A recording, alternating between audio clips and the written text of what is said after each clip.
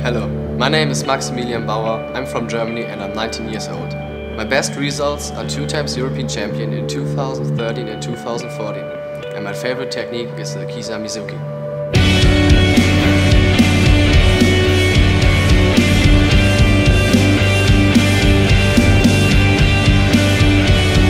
I'm doing karate since 12 years. The first lesson was the best lesson I've ever had. And I never expected that I would be on this level I'm now on. Arawaza, all the power you need.